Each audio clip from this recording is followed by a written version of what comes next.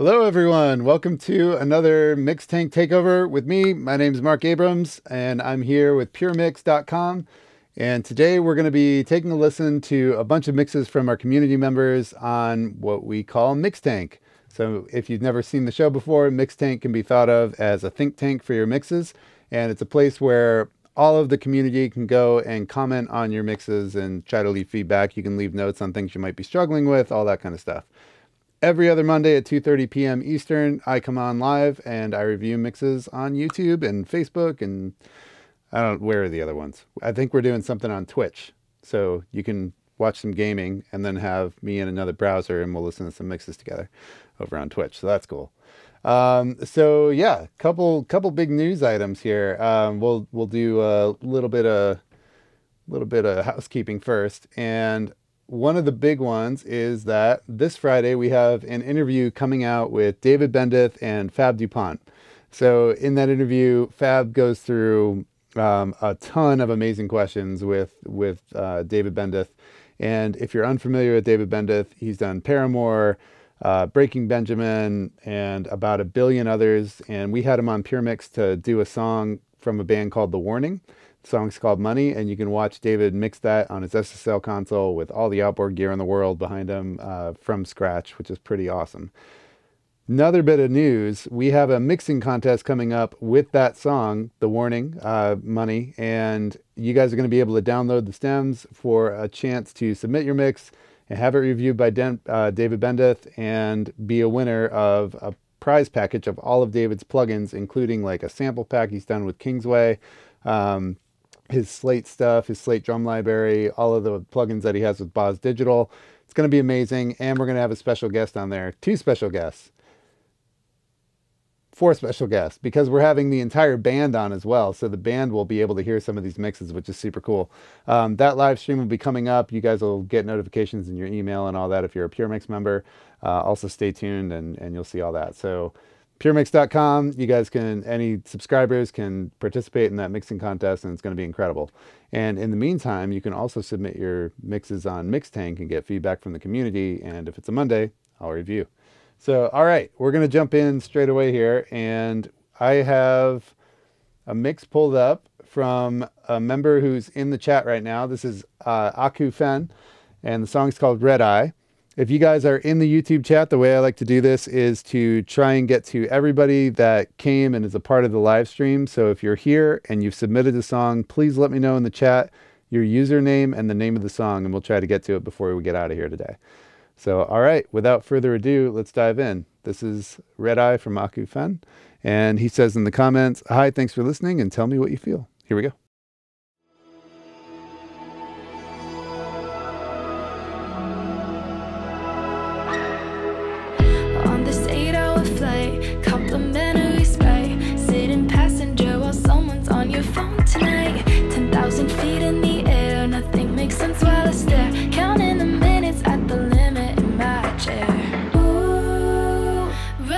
Gonna make me sick. I'm just gonna say it's the turbulence.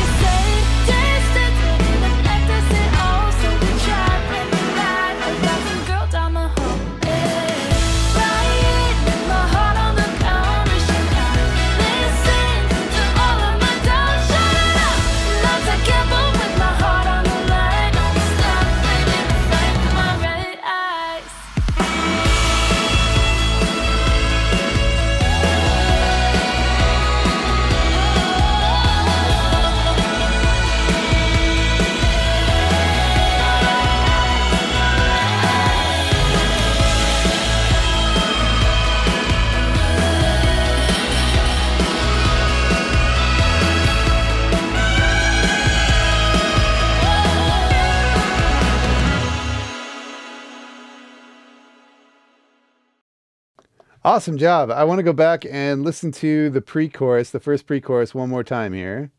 Stand by. Nothing makes sense while I stare. Counting the minutes at the limit in my chair. Ooh, reminiscing gonna make me sick. I'm just gonna say it's the turbulence. Sitting here with my head in the clouds. Nothing makes sense while I stare.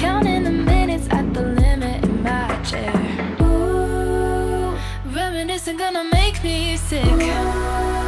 I'm just gonna say it's the turbulence. Okay, cool. Um, so I think you did a great job on this mix. Um, there's a couple things to go over, but uh, one of the things I want to like say kudos on is that the uh, the little moments that happen throughout the mix are super cool. You've got you made a um, a moment out of the tom fill toward the end, going into the last section. Um, these little like halftime pre-chorus sections are really cool. Um, I think there might be some way to enhance those, but uh, we'll talk about that in a second. And just overall, I think um, the balance is really cool. Um, as far as level and arrangement goes, and I've got one comment toward the end about that, but um, the big thing that I heard was the tonal balance of it.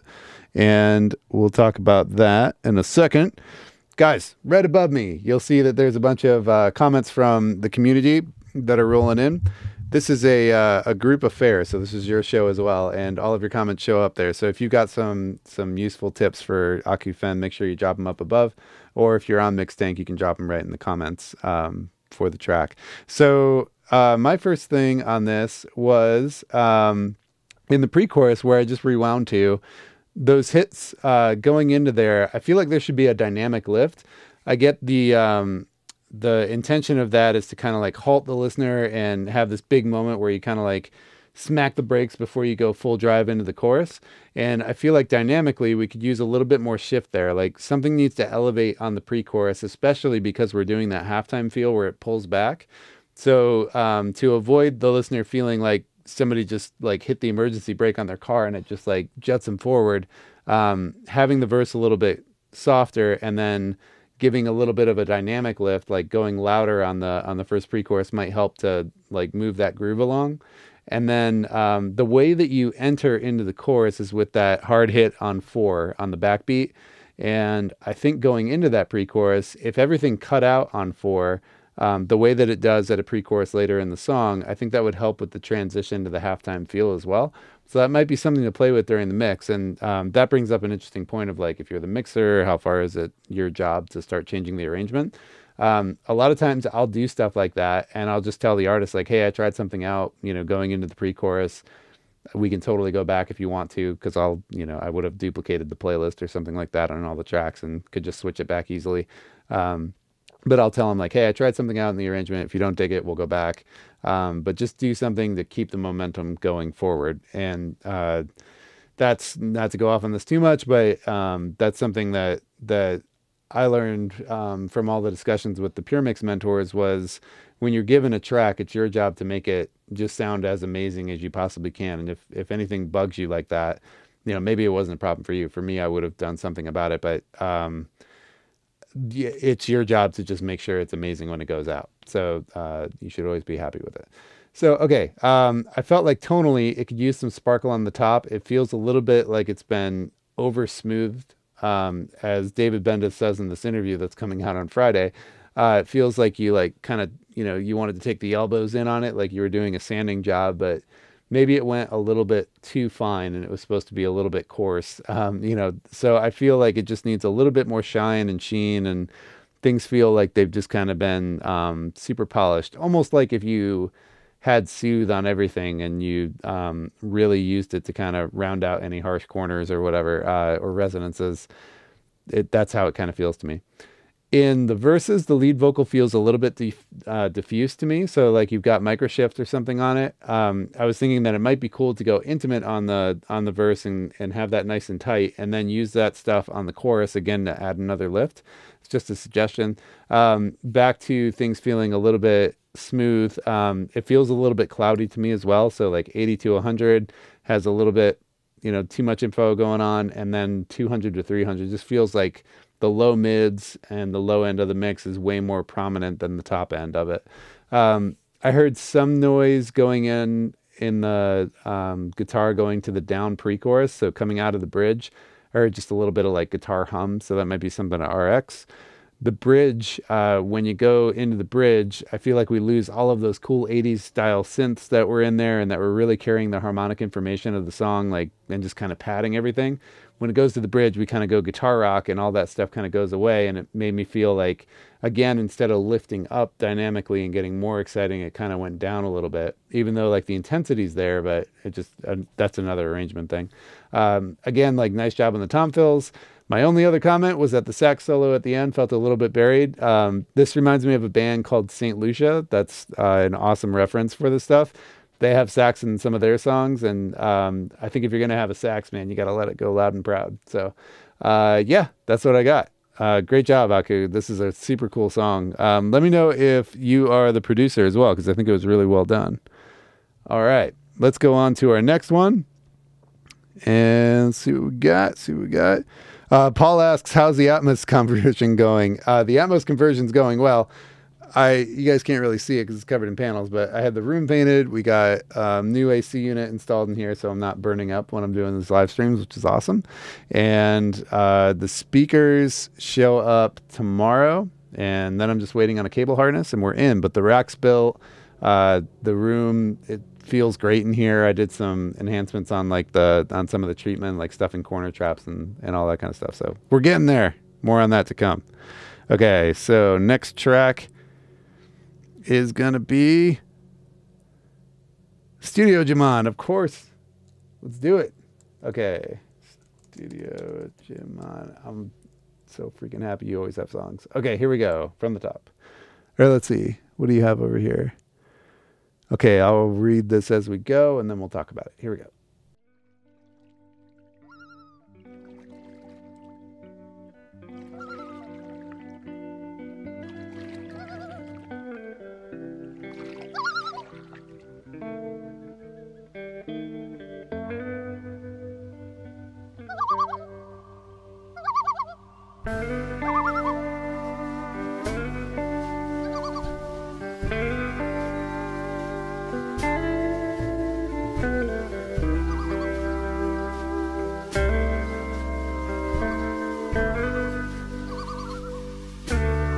Mike, let me know how you did that with the birds.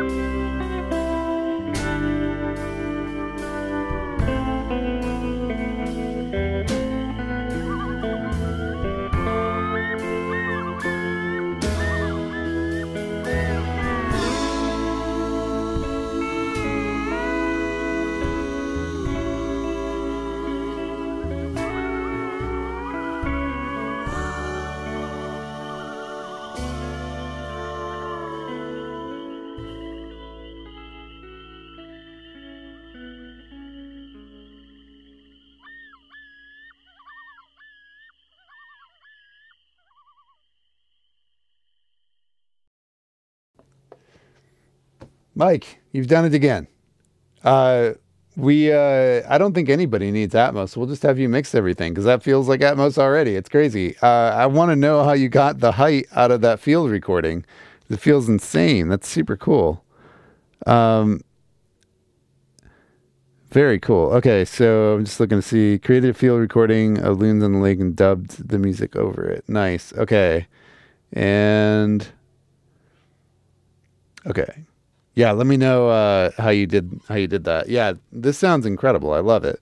Um, I have I have one comment honestly because um, the I would comment about the you know phase correlation and all that stuff, but I think it's um, it's intentional and it sounds super freaking cool, and that's what it is. Like, so you know, who's to say that it has phase correlation issues? It's not going to sum to mono very well, but that doesn't really matter probably.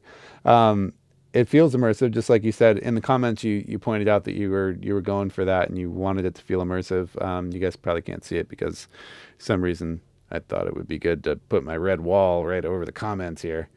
Um, but uh, anyway, um, the yeah, I think that that's all great. The uh, there's some 3K that's coming out in the cricket section that was um, kind of like I was feeling very peaceful from the whole thing, and the 3K was like aggressive and you know it kind of like pinging my ear a little bit. And then there's a bird call in there that has some 3K in it as well. Um, those two things were like they just felt a little jarring in relation to the calmness of the music and everything. So that might be something to look at. Uh, otherwise, I think that's awesome. The uh, I agree with Tom's thing about like it might be nice if the drums weren't so spatialized and a little bit quieter, but also um, I don't think it was a mistake. I think that you made an artistic decision to do that. So my like you know mix tank comment would be yes, the drums are a little too wide and maybe a little too loud, but um, I don't think that you're uh, making mistakes over there. I think that you're doing things very intentionally, which makes it correct. Nice. You're going to do a full immersive mix. Perfect. It's going to be incredible. Um, yeah, it's going to be great. One thing with uh, with the Atmos thing, um, the uh, if you go Atmos and you start doing that stuff, it might be interesting for you to back down a little bit on the phase spread for the stereo mix and let it be a little bit more stereo if you have the Atmos available to you. Because what you do in Atmos is going to be way cooler. Um, it'd also be interesting to hear what the crash down does for for your style of stuff. Normally, like I wouldn't say mix in Atmos from scratch, but with what you do, you're so focused on the immersive aspect of it. It might be a really interesting um, endeavor for you to just start that way in the first place. Um, whereas normally, like the way that that I'm going to be doing things, or that I've done it with the headphones, is um, I print just tons of stems, like um, Andrew and Fab and all the guys.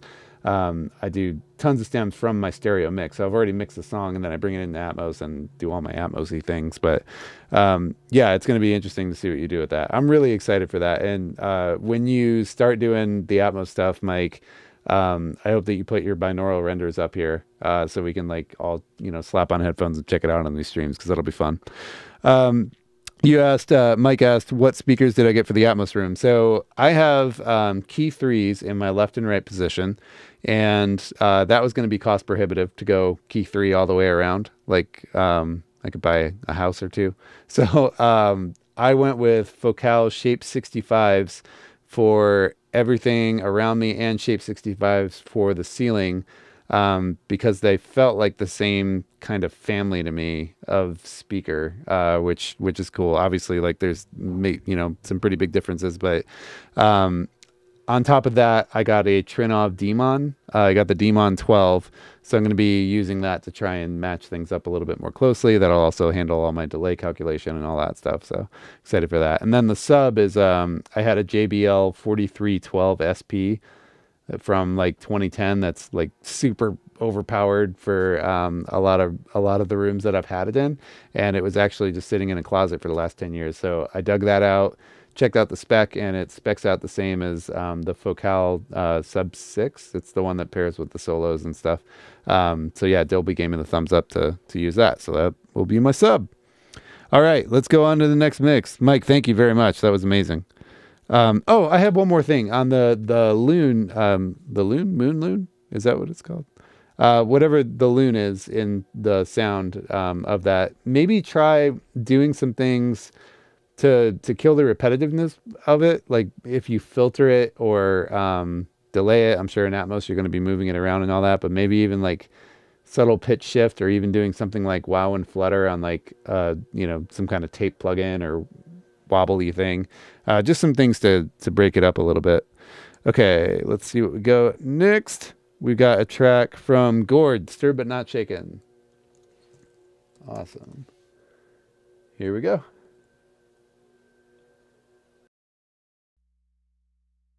Will you call me on a Saturday night so you wanna paint the town?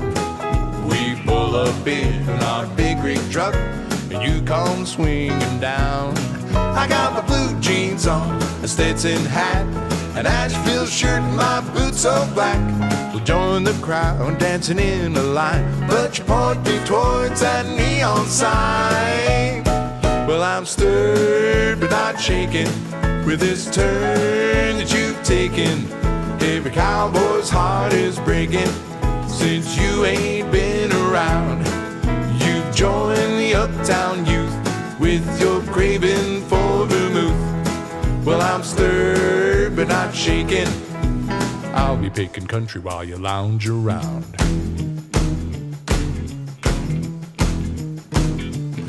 We'll be walking through a velvet door. There's couches all around. The lights are low, the drinks are dry. There's smoother retro sound. Well, I hear Nancy and I hear Frank, but I'm sure missing my good old Hank. There's no draft here behind the bar. I'm handed a martini and a Cuban cigar. Well, I'm stirred but not shaken with this turn that you've taken. Every cowboy's heart is breaking since you ain't been around. You've joined the uptown youth with your craving for vermouth. Well, I'm stirred but not shaken. I'll be picking country while you lounge around.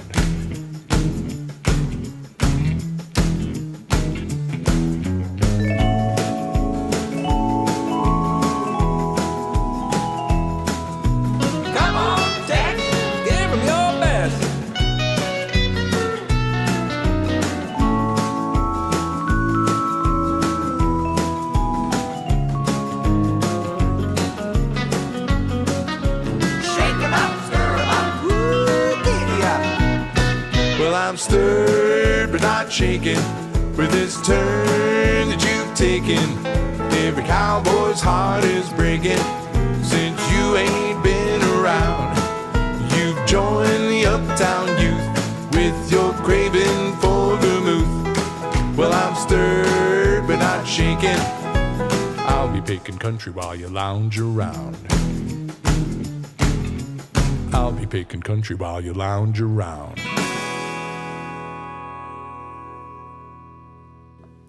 Awesome job, Gord. This is great. Uh, super fun song again. You guys, you always have like really well written stuff that you bring in on here. Uh, okay, so you worked on bringing down the brightness and less extreme panning. Also worked on the drums and added hand claps in the last chorus. Claps are a mix of real synth added for a bit of strength.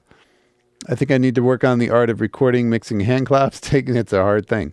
Uh, take a listen and let me know what works and what doesn't. Thanks. Okay, so on the hand clap thing, um, one thing I've found that works really well. First of all, the room has to be um, pretty awesome. Like recording in a small bedroom, doing hand claps. Um, not that that's what you're doing, but uh, usually that doesn't end up working for me. It just ends up all being transient.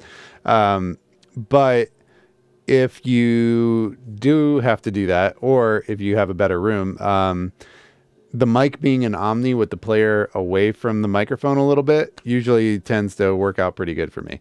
Uh, ribbons have also worked well for me, and uh, I think I think that's about it. So ribbons would be in figure eight, but something that'll capture a little bit of the space around it because a lot of the um, the sound of a clap is what's happening around. And obviously, if you're really close, you're just going to get all transient. So hope that helps.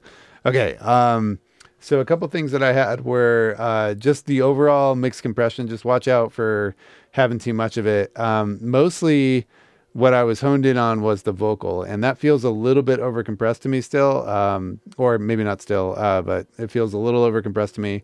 Um, and you can tell that because the first parts of the phrases are louder than the sections that he's actually singing louder. So you hear the compressor clamp down. First, like the the first consonants get through the compressor, then the attack hits, and uh, it smashes down the louder note that comes after the first consonant. So that tells me that the vocal's a little overcompressed. You could play with the attack times on it. I think if you speed the attack up, you're gonna feel like the vocal's really overcompressed.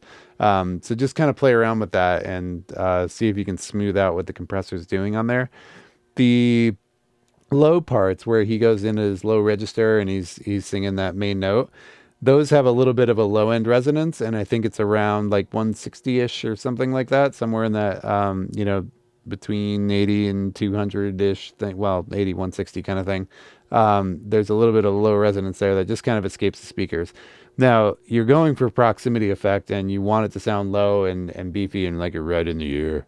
But uh, i would think about doing an automated EQ move on those sections and just dip it back ever so slightly so it doesn't sound like a boom, um, and it actually just sounds like his his low voice on there. Uh, the guitar on when it has the descending riff in the break between the sections, uh, that has a little bit of a low mid bump as well. So both of those sections, I would just do a little bit of automated EQ, and then I'd say watch out for the compression. Um, there was also it felt like a little bit of essing but it was also an artifact of the compression i think. So maybe there's some essing to do but one you know every once in a while there was one that would get a little zingy. Um, and then uh, of course check out the chat up here. They probably got some comments too awesome. All right. I am gonna go on to the next one. Thank you for submitting gord. That was awesome. Next one is from palisades and it's called bussin. Here we go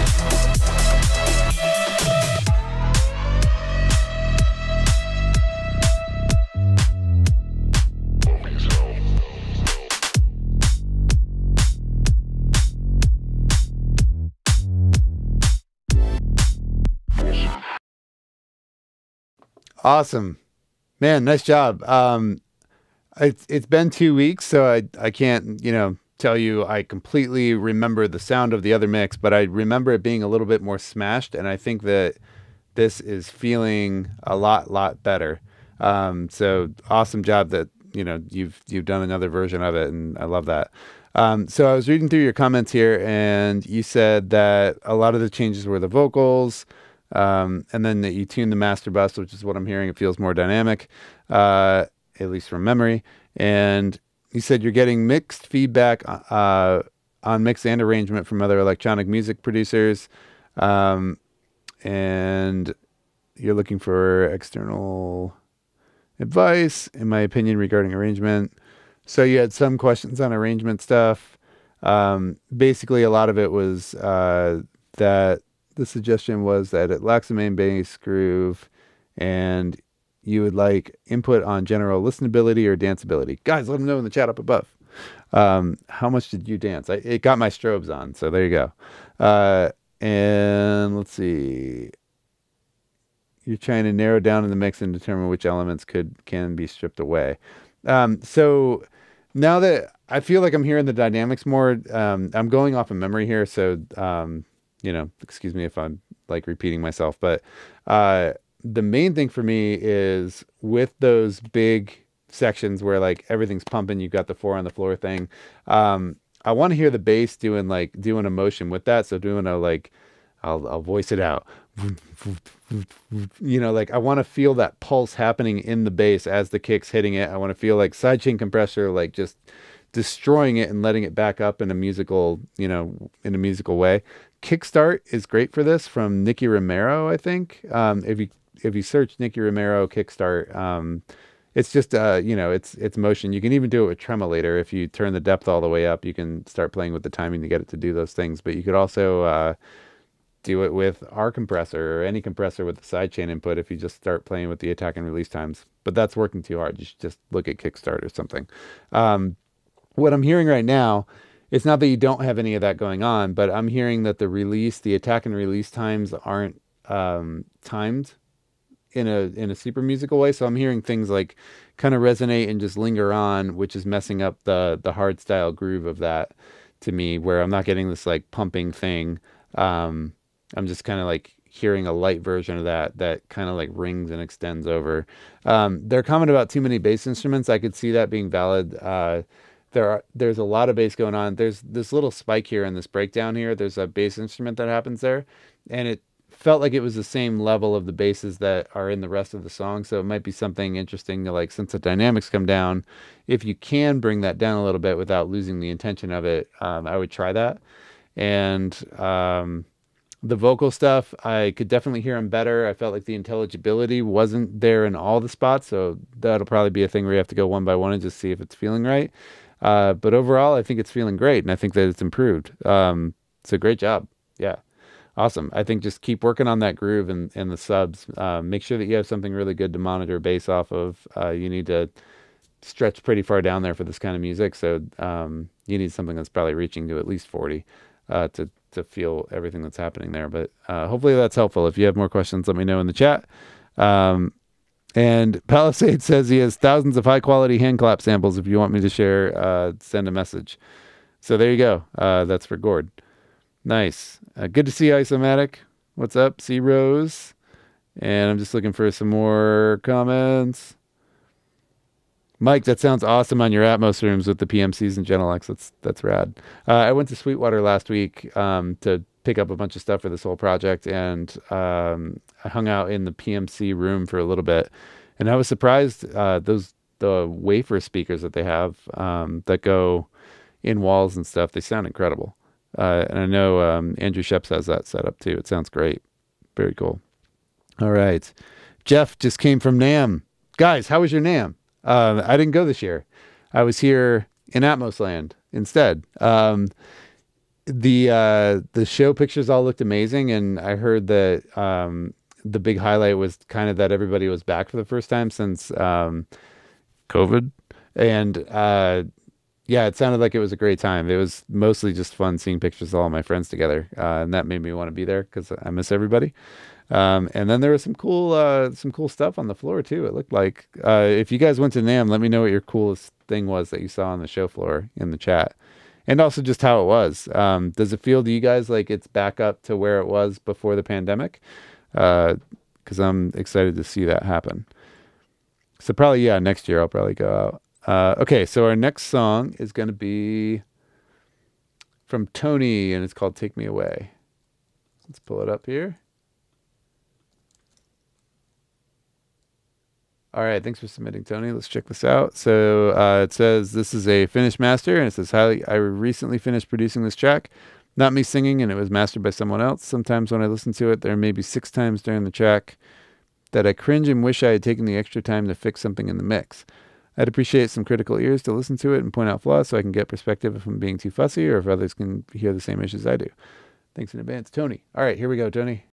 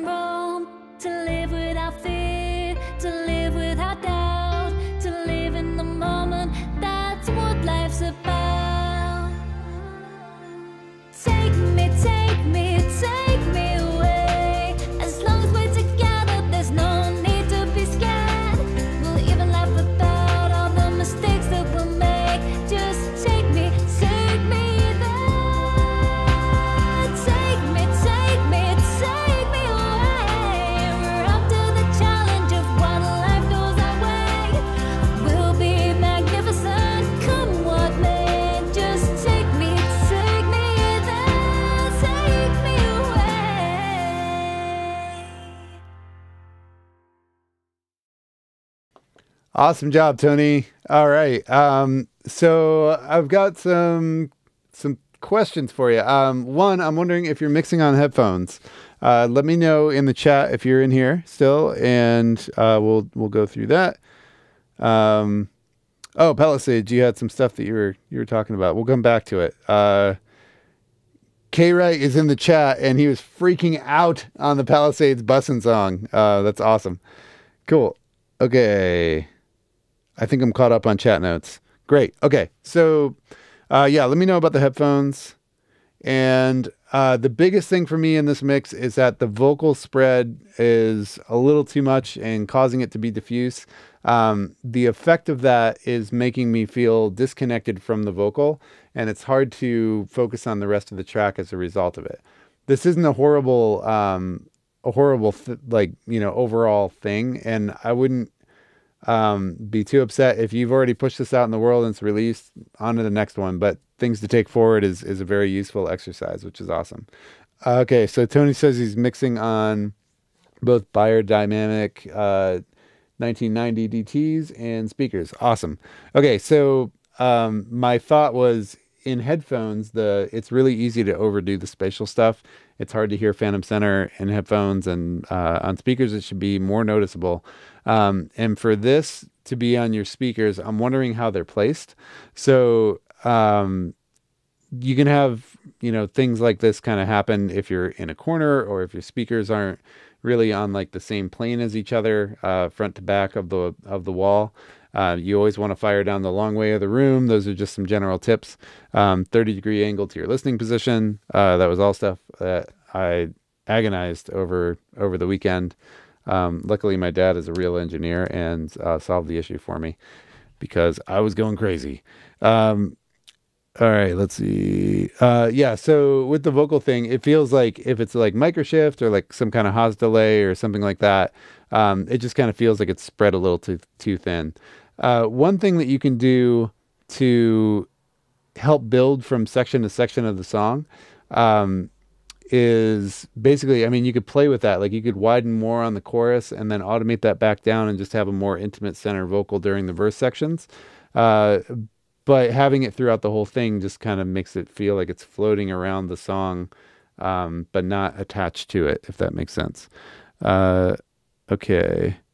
So let's see what else we got. So, um, one other comment I had was on the the tuning. So it sounds like you have auto tune going on because I heard a little bit of the T Pain effect. If that's intentional, auto tune's the way to go. If it's not intentional, um, Autotune has a graphic mode, or you could use Melodyne if you don't have that version of auto tune. There's like 20 versions now. Um, Melodyne, uh, I would just go through and, and tune the vocal by hand, and that would allow you to keep it from getting too robotic. Um, also, there it sounded like there were some notes that Autotune was missing or not getting all. You know, the tuning wasn't fast enough to put it on the right spot, even though we heard the T Pain thing at spots. But um, anyway, I would use Melodyne. You have it. Um, you have the the basic version of it with your PureMix account. So um, you know, click on your name in the upper right corner of the PureMix site. Go to My Plugins and Licenses, and you can get Melodyne there. And I would try that instead of Autotune and just see how it works for you. Um, yeah, and then the only other thing, like for me, was uh, yeah, Neil says that maybe a bit less compression on the vocal would bring out the emotion of the performance more. Agree. Um, it's hard for me to hear a lot of what's going on in the mix because that vocal's so diffuse. So I think uh, I think once that would be resolved, then it would it would kind of all all improve. So Tony, if um, if you're going through this exercise, like if this song's already out in the world and you're going through this exercise just to try and improve and get better, um, I think that one like a useful thing to do would be go back to the mix, strip that effect off of there, or just mute the vocal. Do a save as, of course, but mute the vocal. See how the rest of the mix is working for you, and then turn the vocal on. Um, try getting rid of that effect and seeing if you can hone in on um, just first of all what a soloed vocal in the center image of your speaker sounds like. Make sure it's like right in the center. You should hear a nice tight image. If you don't hear a nice tight image, play with acoustic treatment, play with speaker placement, all of those things. Uh, and then turn that effect back on and listening to what you had before, see if it feels diffuse or wide to you. Um, okay, cool. Yeah. So you said uh, the song is out and you're learning for the next song. Yeah, awesome. And I really would consider going back to this song and just popping open the mix session if you can, and then just playing with some of that stuff because it will carry with you to the next song. Um, yeah, Cool. I hope that that helps. Moving on to the next one. Um, and I'd love to hear another version too, Tony. If uh, if you have another version in two weeks, we'll be back. So there you go. All right. Next song is "Quiet Dead of Night" from Paul Martin. Let's see. All right, let's check it out. It looks like it's quiet. Let's see.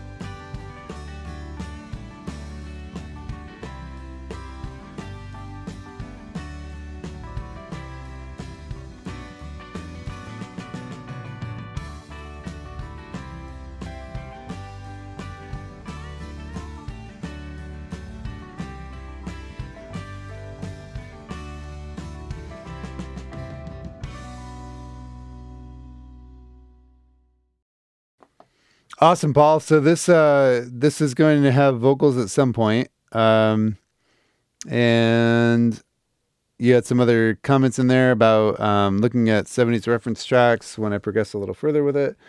Um so yeah, this is still kind of in like the the tracking phase of things. Um so some stuff I heard on it uh, was the snare felt like it could use a little bit more bite to me, like it could be opened up a little bit. Um, there's a lot of like low mid content going on in there, but I think if I were given this this track, I would go right around the snare while still trying to go for the 70 sound. I honestly I would reach for um, a 1073 style plug-in and I would probably try a little bit of 4K, see if that worked. I would also try opening the top, which I think is 12K on a 1073 um, in at least like the UA one. I think it's 12K. Uh, and I would try opening that up a little bit before I did any cutting on this because the bottom feels pretty cool and punchy. I wouldn't want to like kill the body of it. I just see if there's something to pull out of it. If not, I'd do subtractive. Uh, okay, the kick drum um, felt like it could use a little bit of low mid cleanup. Uh, 300 was a little bit boomy to me or woofy. If you pull too much of that out, you're going to totally change the year that it was recorded in. So obviously, like if you go full scoop on it, it's going to get real metal and rock like. Uh, and some of that puck sound sounds really good. So not too much. And maybe just try opening up the top a little bit. The uh, drums felt like they could use a little bit of editing as well.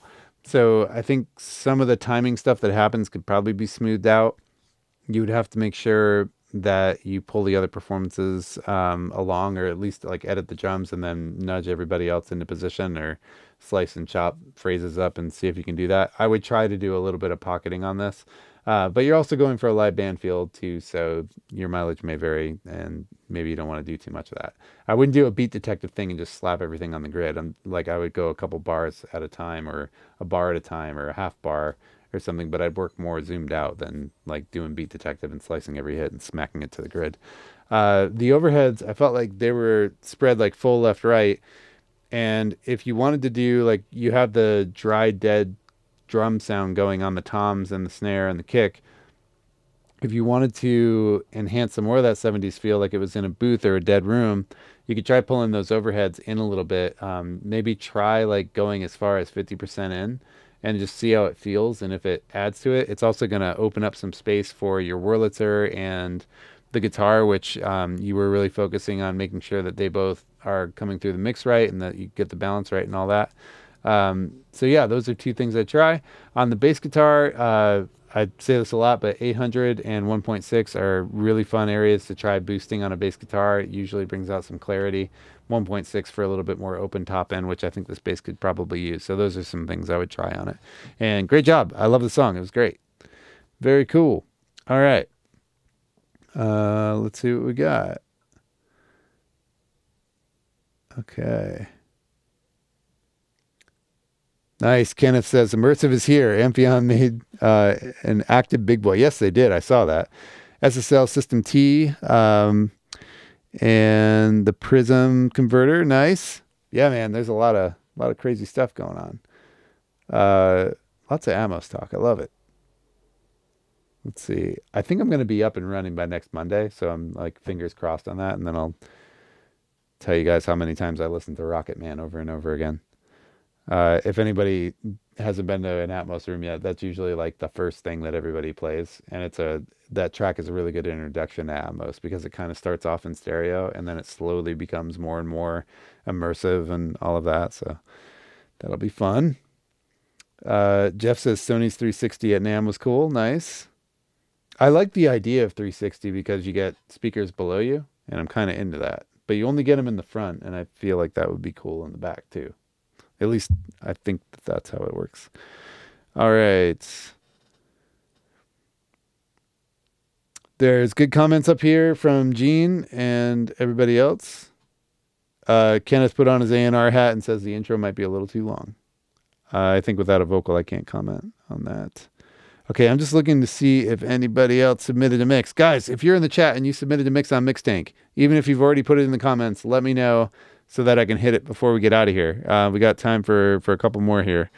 So let me know if you got a mix up there. And if not, we are going to go on. Martin had the Sultan of Country in uh, quotes, in air quotes, but I don't think that that was a song.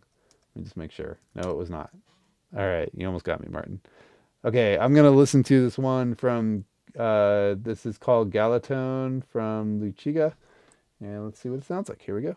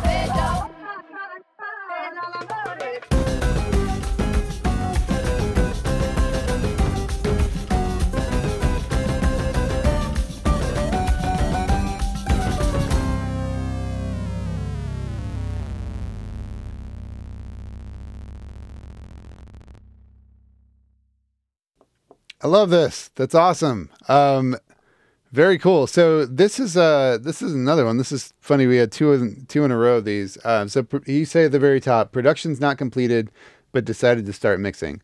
That is a very tricky thing to do. Um, it's good to like go through and you know clean up your sounds and make things sound as good as they can, uh, so you're all inspired and you have a direction and intention while you're tracking.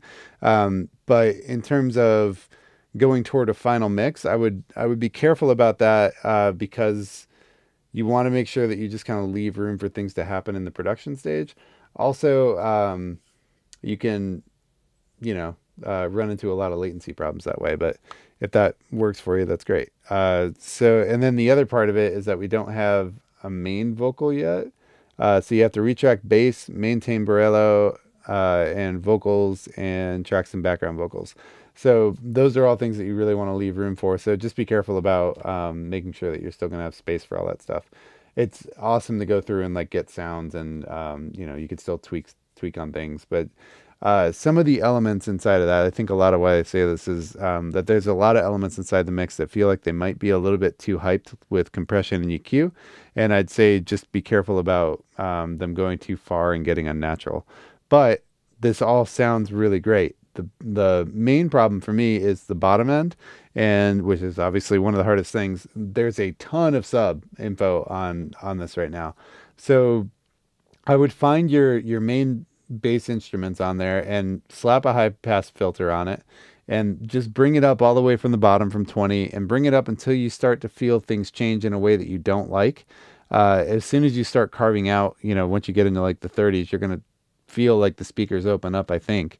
Um, and you want to go until it gets to a point where you're like, I hate what this is doing, and then dial it back.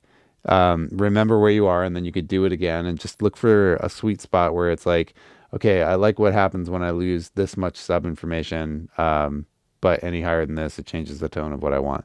So watch out for that. Headphones are great for that. Um, the uh, Tamburello sounds amazing on this. Amazing, you know, playing on this too. You, you did such a great job on the production of this. Uh, so other than that, watch out for overall compression or limiting. Uh, make sure it's not getting too loud because there's so much cool stuff happening in here. And that's really all I got for right now. I think that things will change once you have vocals in, and I hope to hear this again as well. It would be awesome to hear it with vocals. And it's insane that you played all the stuff on this. Um, so wait, where did you say? So production's mine based on traditional South Italian dance. The main instruments uh, are tamburello, played by me in this case, mandolin or violin, and of course vocals. Yeah, very cool. Uh, production is based on field recording vocals from the 50s. Then I wrote new lyrics. Awesome. You want it to sound less demoish. Yeah, I think just fixing up the low end is going to help a ton. Uh, oh yeah, you wanted to have comments on the low end, so there you go.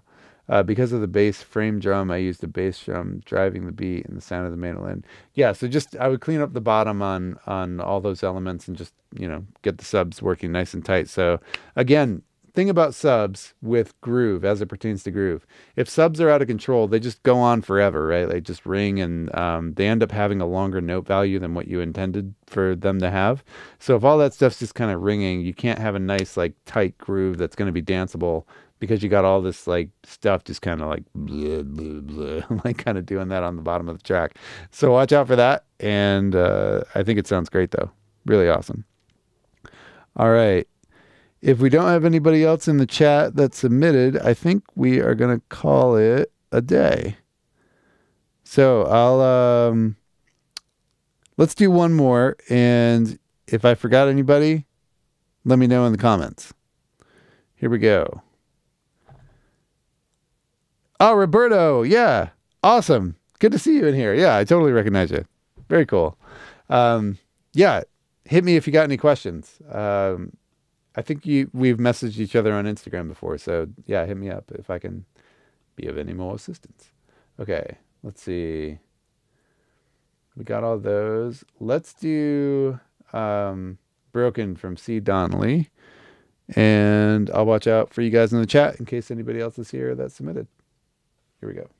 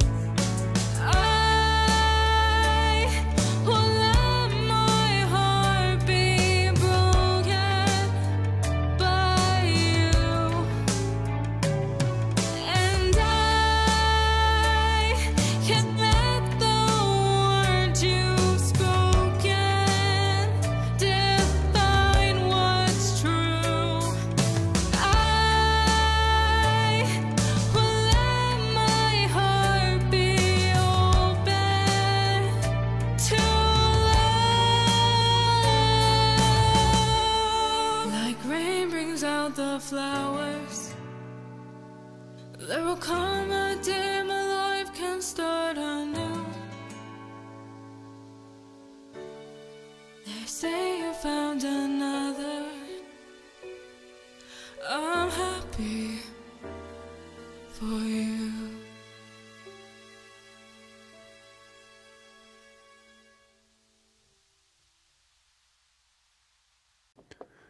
Awesome. Uh, got some noise at the end there that might be intentional. If so, cool. If not, little editing. Uh, great job. So this is from C. Donley. Uh, I don't think you're in here with us, but there we go. Um, okay, cool. So comments in the chat up above. Guys, let them know what you think about it. So Neil says a little harshness in the sustained notes.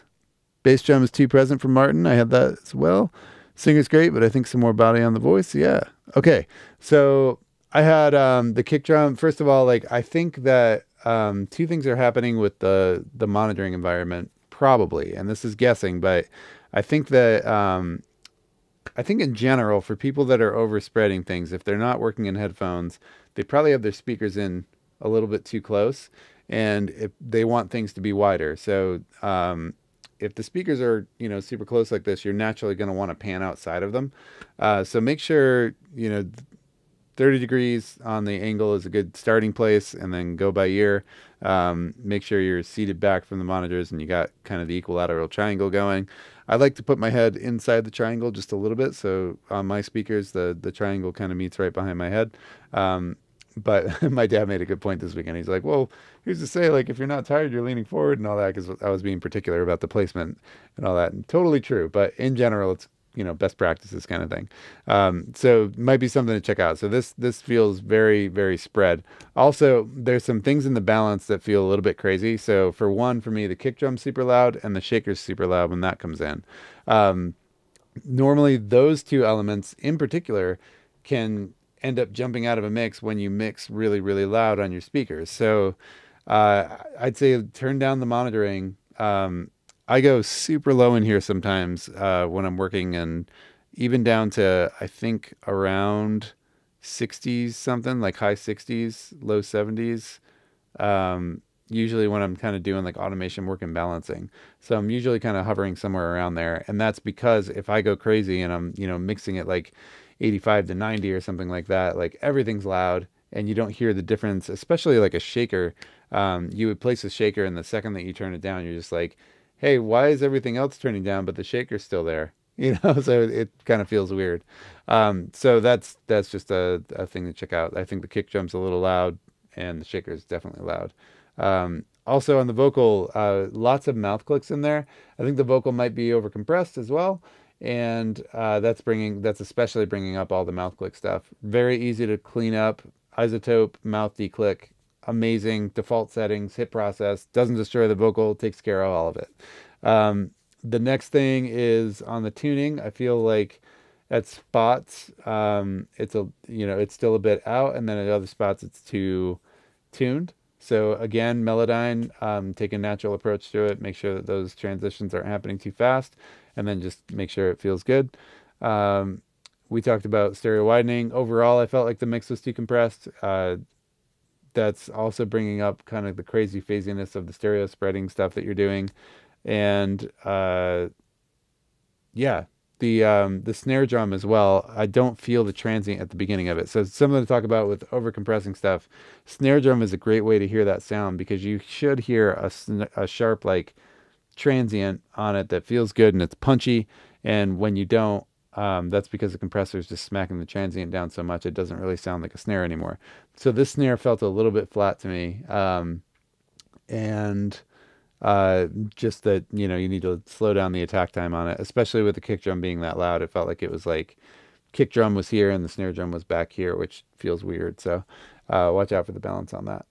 And the strings felt like they were lacking some body and also wrapping around my head. So because of the phasiness of them, um, I think it's losing some body on there. So I'd uh, bring down the stereo imaging stuff, the enhancement that's going on with them, and try to get some of the body back in there. I don't think it's going to crowd your vocal too much if you just bring some natural um, body back into the strings.